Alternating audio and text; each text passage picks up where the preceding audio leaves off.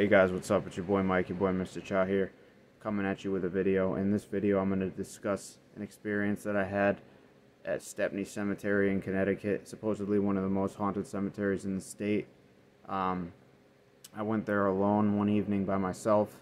Um, it was around 6 or 7. It was fall time, so the leaves were falling on the ground and all that good stuff. It was uh, very uh, festive, if you will, very spooky. But that's not what I'm going to get into. I'm going to get into it right now.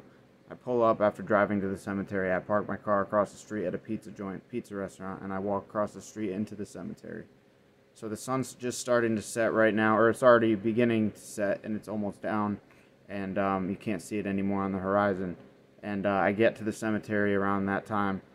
I walk in. Instantly, it feels more cold inside the cemetery than it did on the outside before I entered.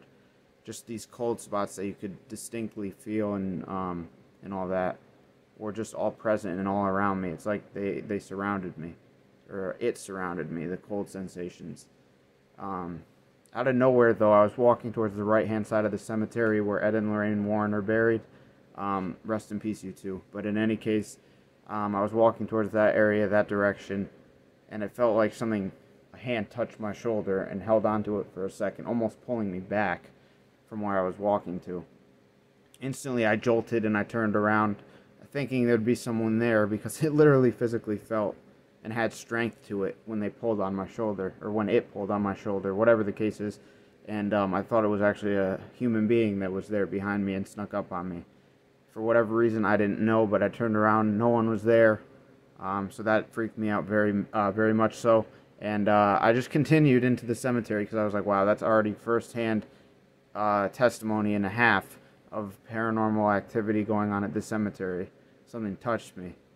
Then, out of the corner of my eye, I saw something walking between gravestones, between the plots, and uh, it looked like a white apparition. As soon as I saw that, I heard laughter out of my. Le- I think it was my left ear.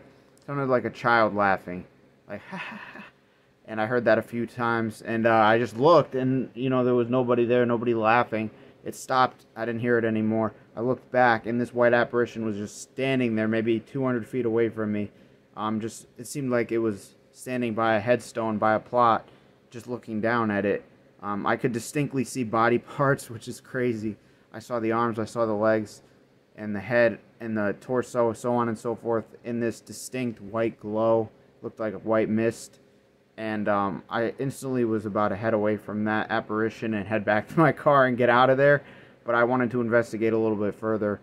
So I broke out my EMF meter. Um, and uh, I started walking through the cemetery. And hold on one sec.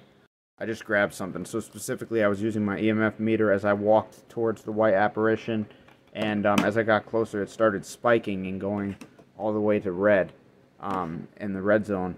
And uh, I still saw the white lady at this point. I'm about 50 to 100 feet away from her, or whatever apparition it was that I saw. And um, I try to make contact. I say hello. I make hand gestures like this, trying to get its attention, but nothing happens. As quickly as I saw it, it then vanished in front of my eyes. It's as if it dispersed itself into this mist, into the atmosphere that was gone within seconds. Um, so I had no chance to interact with the entity. And uh, as quickly as that whole experience started, that's as fast as I left the cemetery because I was that freaked out.